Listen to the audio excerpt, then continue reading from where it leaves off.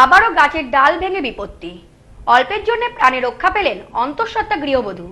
কালুপুরের যশোর রোডের পাশে একটি বাড়িতে বুধবার দুপুরে গাছের ডাল ভেঙে পড়ে। হতাহতের খবর না পেলেও বেশ কিছু ক্ষয়ক্ষতি হয়েছে। কোনো ঝড় বৃষ্টি নয় নয় কালবৈশাখী তা সত্ত্বেও হঠাৎই হুড়মুড়িয়ে ভেঙে পড়ল রাস্তার পাশের শিশু গাছের ডাল। অল্পের জন্য প্রাণে রক্ষা পেলেন অন্তঃসত্ত্বা গৃহবধূ। যশোহর রোডের পাশে প্রাচীন শিশু গাছের ডাল ভেঙে ফের বিপত্তি। বুধবার আস্ত একটি ডাল ভেঙে পড়ে বনগা কালোপুর এলাকায় এক বাসিন্দার ঘরের ওপর। গাছের ডাল ভেঙে পড়ায় বাড়িতে ক্ষয়ক্ষতি হলেও কোনো হতাহতের খবর নেই। এই ঘটনায় এলাকায় আতঙ্ক ছড়িয়েছে।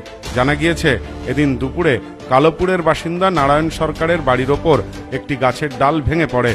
সে সময় ঘরেই ছিলেন নারায়ণবাবুর সন্তান সম্ভবা বৌমা। তবে প্রাণে রক্ষা পান তিনি। হ্যাঁ, মচ মচ করে শব্দ হলো ওরে ভেঙে পড়ে গেল। আর বৌমা ছিল ঘরের ভিতরে। ওর বৌদি ঘরের ভিতর ছিল। হ্যাঁ আমাদের তো বাড়ি এই। তারপর দৌড়ে এসে কি দেখলেন? হ্যাঁ দেখলাম বউটা ঘর থেকে বেরিয়ে আসলো তারপরে মচ মচ করে ভেঙে পড়ে গেল।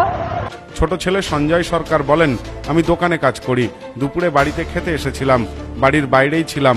হঠাৎই বিকট শব্দে গাছের ডাল ভেঙে পড়ে। বৌদি ঘরেই ছিল। কোনো মতে প্রাণে বেঁচে গিয়েছে।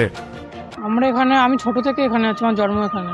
আমি বাড়িতে খেতে এসেছিলাম খেয়ে দিয়ে দোকানে গেছিলাম মিষ্টি দোকানে কাজ করি। এসে ওখানে খবর পাঠানো হলো তখন দেখলাম বাড়ি এসে দেখলাম এরকম ভাঙা। না কারও কোনো ক্ষয়ক্ষতি হয়নি। ঘরের মধ্যে খাট তারপর টিভি আছে বাক্স আলনা বাইরে গ্যাসটা সব ছিল। গাছের ডালে অ্যাকচুয়ালি গাছের মধ্যে সবই মানে ফাঁপা আর কি। আমরা আতঙ্কের মধ্যে থাকি সবসময় গাছের ডালগুলো ঝড় এলে পাশে বাড়িতে যাই। আজকে আমাদের কপাল ভালো যে কারোর কিছু হয়নি কিন্তু গাছগুলো মানে কাটার ব্যবস্থা করুন।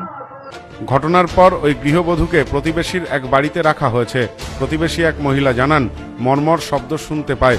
আমরা সকলে বাড়ির বাইরে বেরিয়ে আসি। কেউ আঘাত না পেলেও ঘরে থাকা খাট আলমারি ড্রেসিং টেবিল সমস্ত কিছুই ভেঙে গিয়েছে। এই কপাল ভালো যে তার কিছু হয়নি। হ্যাঁ, কেন এই রকম দুটো প্রাণ চলে গেছে নাকি? দুটো বড়টা যেত। আর এই যে সব গরিব মানুষ সে লোকের বাড়ি কাজ করে এই যে ভ্যান চালায় তাহলে এই যে জিনিসগুলো ক্ষতিপূরণ দেবে কে?